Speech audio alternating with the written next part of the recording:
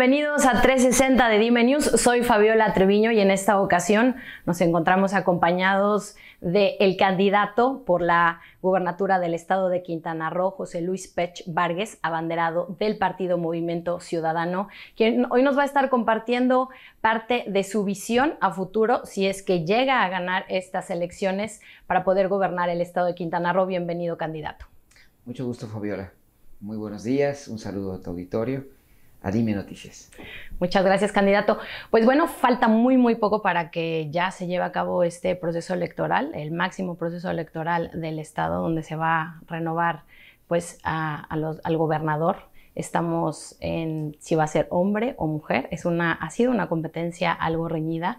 Y en este momento, ¿usted cómo podría calificar que se encuentra su posición, su figura respecto al resto de los candidatos?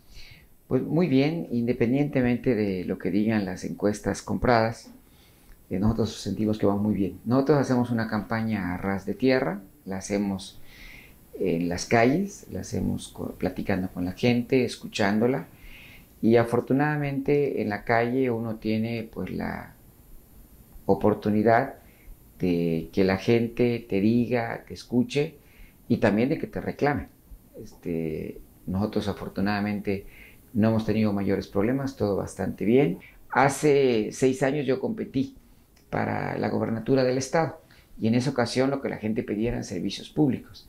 Ahora lo que la gente pide, particularmente las familias, las señoras, es seguridad. Seguridad que han perdido y que les duele mucho que se haya perdido. Y es lamentable que un destino turístico como el nuestro, del cual solo se decían maravillas, pues hoy estemos en los titulares, pero de homicidios, de eh, suicidios, de balazos, de violencia, de todo lo que lamentablemente hoy vivimos. Morena y Movimiento Ciudadano son partidos muy diferentes y eh, Movimiento Ciudadano plantea la tercera vía. Movimiento Ciudadano es un partido progresista, de la corriente progresista, eh, refleja ciertamente temas que no reflejan otros partidos con toda claridad, particularmente no lo refleja la derecha, el PAN, pero es un partido que eh, evidentemente quiere como eje fundamental la participación ciudadana. Allá en, el Movimiento Ciudadano uno lee los estatutos y encuentra que todos tienen cabida, este, todos son respetados, eh, hay la posibilidad de respetar las decisiones perfectamente para todos. Sin embargo, lo que no se dice es que se enfoca mucho a la clase económicamente eh, que puede, y sin embargo, este, la tercera vía se enfoca en, esta, clase social demasiado. Y dejan de tomar decisiones la gente con menos recursos para enfocarse en los activamente económicos. Entonces, em, ahí puede ser algo, bueno, no puede ser, es algo riesgoso porque si bien ahorita muchos partidos se enfocan en utilizar la pobreza de las personas para poder llegar a la pirámide, y va a ser todo lo contrario, pero de todas formas la gente pobre va a seguir padeciendo y estando expensas de una despensa o de algunos cuantos apoyos.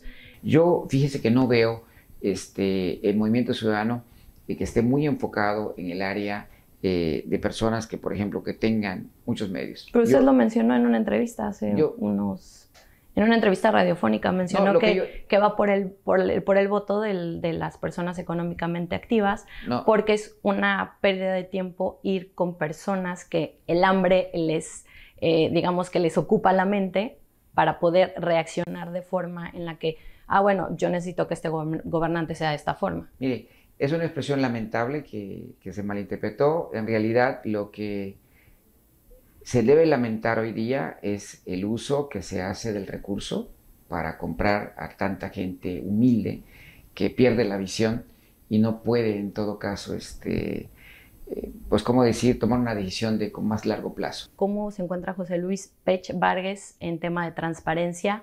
Eh, reciente, bueno, no recientemente, sino eh, a lo largo de la campaña, fue publicado el tema de su hijo, que está acusado por el tema de la estafa maestra, bueno, una vinculación con la estafa maestra por 20 millones.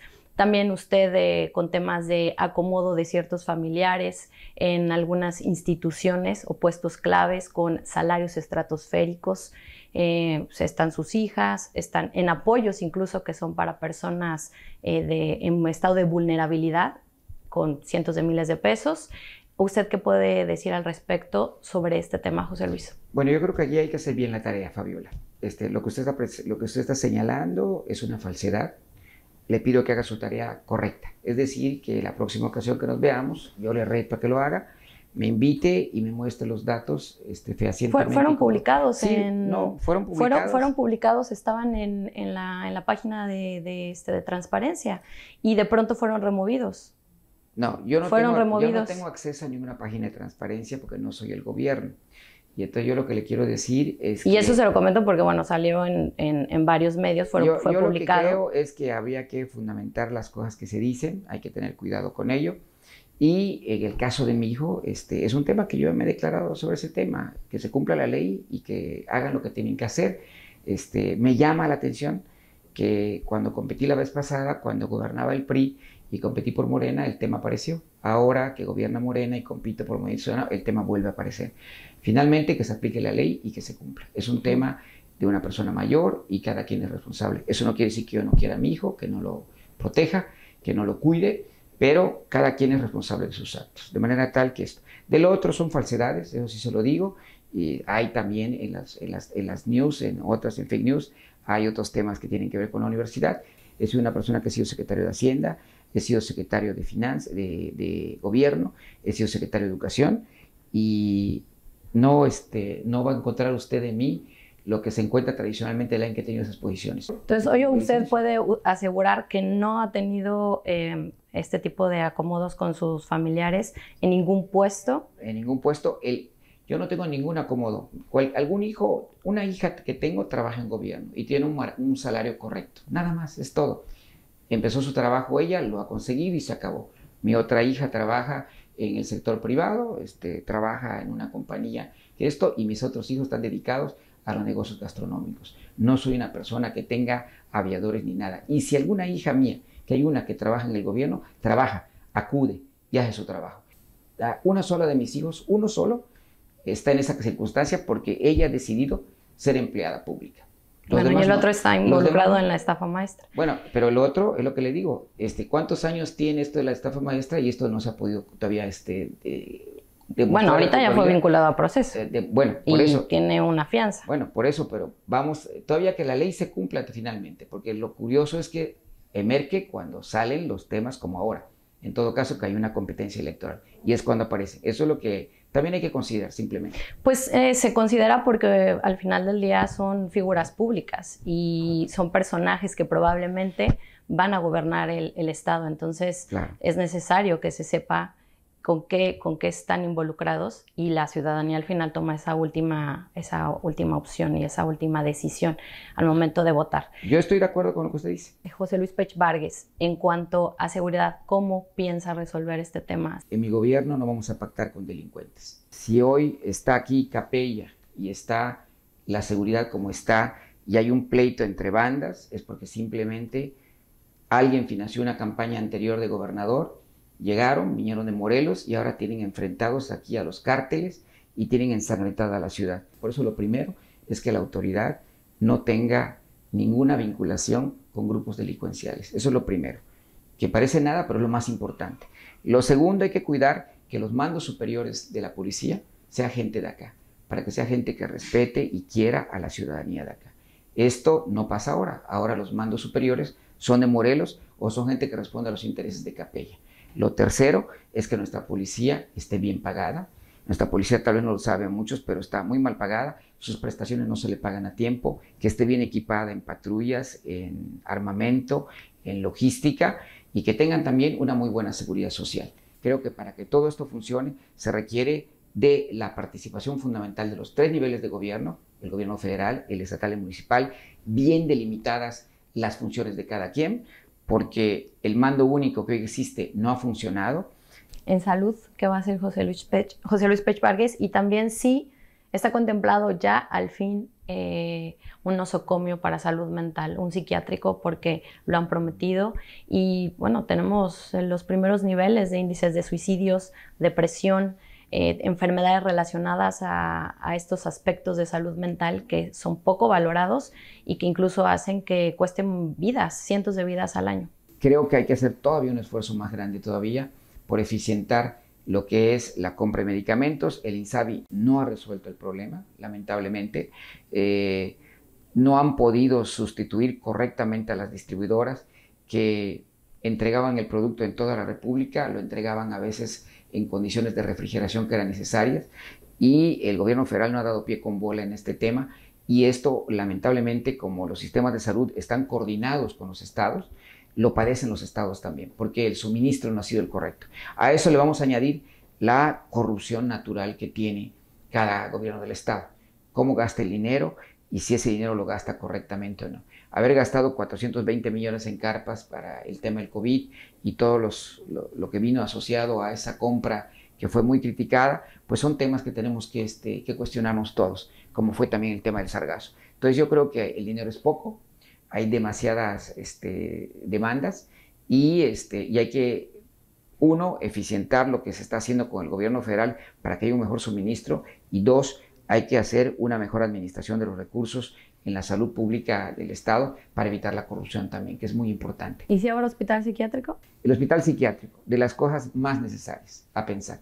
Eh, yo creo que es una deuda brutal que se tiene con la sociedad y sí es importantísimo pensar en él Habrá que pensar por dónde para que toda la sociedad pueda tener la posibilidad de acceder a ello. José Luis Pech va a involucrarse más con el tema del sargazo, si bien es algo que se tiene que atender de forma integral desde el gobierno federal.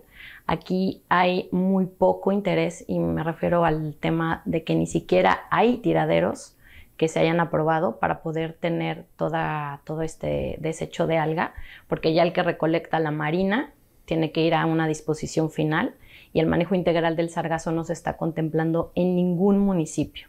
Tenemos tiraderos clandestinos, tenemos el propio tiradero los, eh, ya en los rellenos sanitarios, incluso ya los rellenos sanitarios están diciendo no queremos el sargazo, ¿por qué? Porque o tenemos sargazo o tenemos basura. ¿Qué, ¿Cuál es la propuesta de José Luis Pecho? El gobierno estatal, endeudado como está, eh, y con la corrupción que ha habido y con el mal uso que se hizo de los 220 millones la vez pasada, pues eh, no tiene ahora recursos federales para asignarlo y el gobierno federal ha optado por lo que ha optado, con el problema que aun cuando eh, recuperes una gran cantidad de sargazo en el mar, luego queda el problema de dónde ponerlo o dónde quedar que, para, que para que finalmente se integre al ambiente. yo creo que conjugado con el problema del relleno sanitario, que no es privativo solamente de, Cancún, también es, muy fuerte el problema en Chetumal y también Soledad tiene lo propio, eh, tenemos que pensar en nuevas tecnologías para el tratamiento de la basura. Tenemos que buscar plantas que permitan de una forma u otra eh, que esas plantas nos permitan tratar la basura de una manera que nos permita obtener gas y energía en el final y que tengan una capacidad sobrada de instalación para que cuando llegue sargazo se puedan procesar ahí y evite el hecho de que esté en el, en el suelo y ahí se degrade y genere toda una serie de lixivados que afectan ciertamente al ambiente. ¿Cuál es la máxima apuesta de gobierno de José Luis Pech?